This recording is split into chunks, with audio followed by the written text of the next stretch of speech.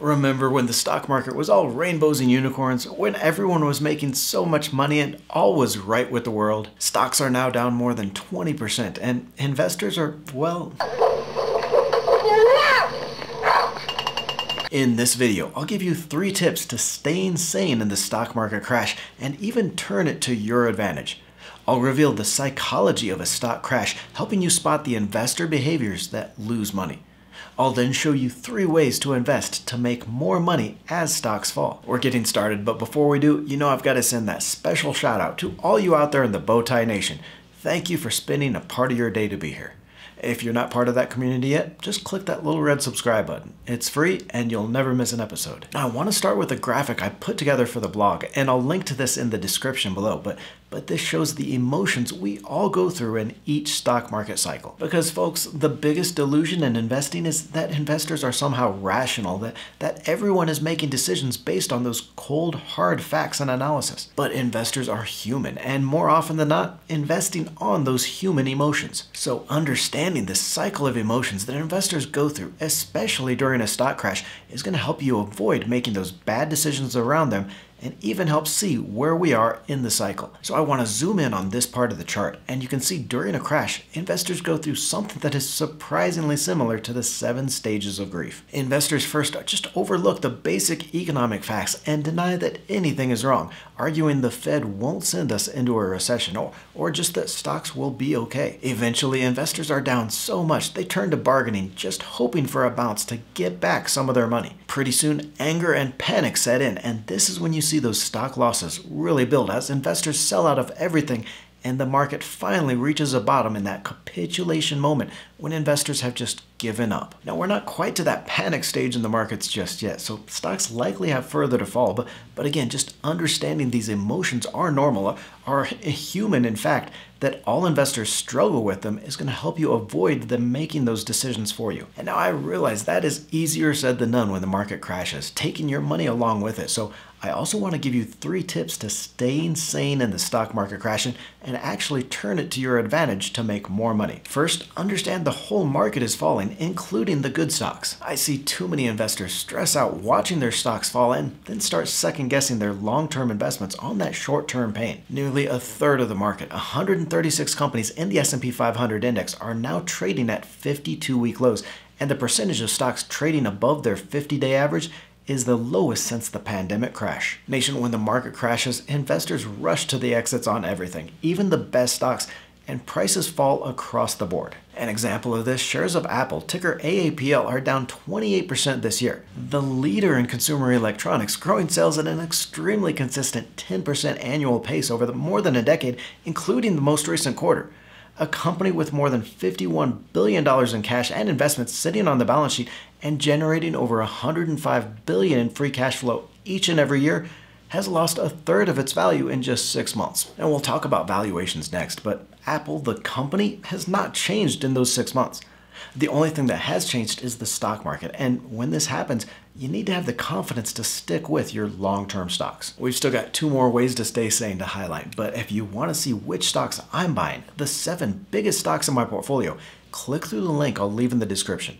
This is a free report I put together with The Motley Fool. It's absolutely free, no obligation. Now, The Motley Fool is going to email you an offer for their Stock Advisor newsletter. I use it, I like the analysis, but, but there is no obligation to buy anything.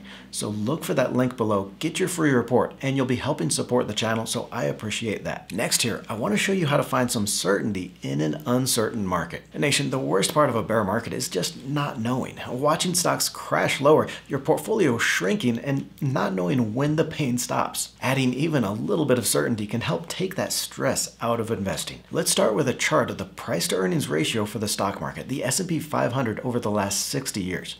Now you'll see some charts go back as much as 100 years and more, but, but really since the 60s is the modern age of stocks and really a better guide to valuations. Now remember, that PE ratio is just the price of a stock, or, or the stock market here, divided by earnings, that most basic valuation for an investment. Since you're buying an ownership in that company, you want to know what price you're paying for the earnings generated. You see a few spikes here where earnings have crashed in the pandemic and in 2008, but, but generally the market has peaked around 25 to 30 times on that price to earnings basis in those bull markets over the last 20 years. We've also seen it fall into about 15 times for those bear market lows. Now, as I record this, with the S&P 500 at 3,700 and stocks in the index reporting earnings of $197 over the last year, we are just at over, over 19 times on that PE ratio, which isn't too far above the median of 18 times. So with a 20% drop in stocks, we're not too far from that long-term fair value. But it is important to understand if we get a recession, that's going to change that E part of the price to earnings ratio. This chart shows the year-over-year -year change in corporate earnings since 1948, and you can see those dips in the recessions. On average, earnings tend to fall between 10 to 20% in a recession, so we need to build that into our valuation for what could be a bottom in the stock crash. Here we see analyst expectations for earnings in 2023 on those S&P 500 companies, right now expected at $251 per share for the index.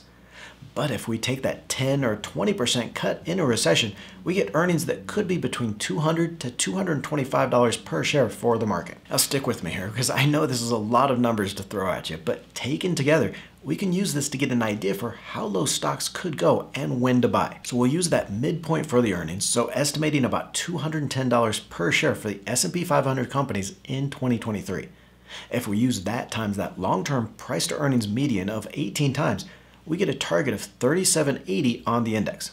Now that's actually about 3% above where the market is right now. If we want to go more conservative though, looking for that low estimate and then multiply that 210 in earnings by the PE low of 15 times, we get a target of 3150 for the S&P 500. Now that would be about 35% down from the peak of 4,800 reached last year and another 15% lower from here. And what this means, how you use this is it can give you a level of confidence or certainty on where stocks might go. You can play around with the numbers a little bit, but, but I think you can be confident that buying stocks around that 3150 target or, or even maybe a little higher that you're going to get a great deal and will make solid returns over the next bull market. Now we'll get to that next tip, and this one is going to make all the difference, but I want to get your input on this as well. What do you do to stay sane during a stock crash? Uh, how do you avoid making those bad investing decisions? So, so scroll down and let us know in the comments below. Uh, this third tip is the most important of all, changing your perspective on the stock market crash, because this is really the best time to invest. Nation, I've been investing for 23 years now. In fact, I started in 1999, which was a great time to start because we know what happened to stocks that next year. One thing I've learned over four major stock market crashes and countless corrections is this. You make your money during a crash. Putnam Investments researched 17 major events that sent stocks crashing over the last 80 years, from world wars to the pandemic.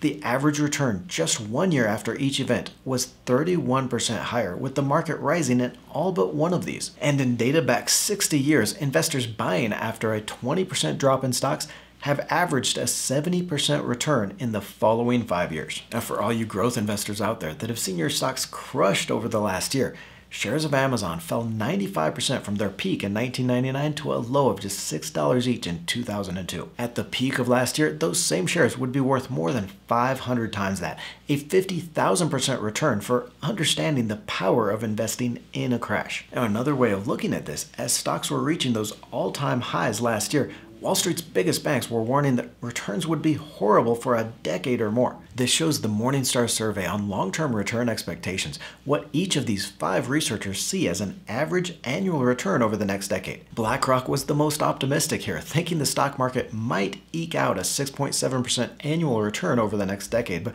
but everyone else was unanimously bearish. Analysts at Morningstar and research affiliates thought we would be lucky to get a 1.6% annual return for the next 10 years. Stocks were so expensive, reaching more than 30 times on that PE ratio, that the outlook was a decade of go nowhere stocks in a best case scenario.